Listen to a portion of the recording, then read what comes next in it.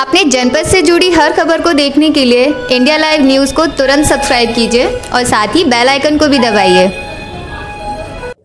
नमस्कार, India live news में आप सभी का स्वागत है और मैं हूँ आपके साथ अंसारी। चोरों ने की एक दुकान से बीती रात चोरी। फिरोजाबाद में देर रात चोरों ने एक अटेची की दुकान से लाखों की चोरी की घटना को अंजाम दिया। मौके पर पहुँची पुलिस ने घटना स्थल का निरीक्षण किया। इस समय पूरा देश ही कोरोना की चपेट में है। वहीं चोरों ने देर रात एक दुकान से चोरी कर घटना को अंजाम दिया। मौके पर पहुँची पुलिस और दुकान स्वामी ने बताया कि उसकी अटेची की दुकान थाना उत्तर क्षेत्र में है, जहाँ ताला तोड़ उसकी दुकान से चोरी की गई है।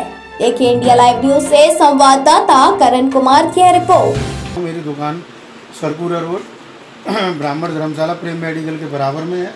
वो मेरी दुकान से गत रात चोरी हो चुकी है, जिसमें कि मेरी कुछ अटैचियाँ, कुछ बैग और कुछ, क्या नाम है, कीमती सामान, एक मेरी जो गले में अंगूठी पड़ी रहती थी वो, और कुछ नकदी थी, और कुछ दान पात्र में पैसे रहते थे, वो दान पात्र के पैसे गायब हैं, कुछ ज़रूरती मेरे कागजात गायब हैं, जैसे कि बैंक की, फर्म की पासबुक, चेकबुक और मेरे, क्या नाम है, डाकखाने के कागज़ और थोड़े से का जो कीमती डॉक्यूमेंट्स थे, वो डॉक्यूमेंट्स गायब हैं, जैसे कि आरडी वगैरह, बच्चों की पॉलिसी वगैरह जो मैंने कराई थी, वो।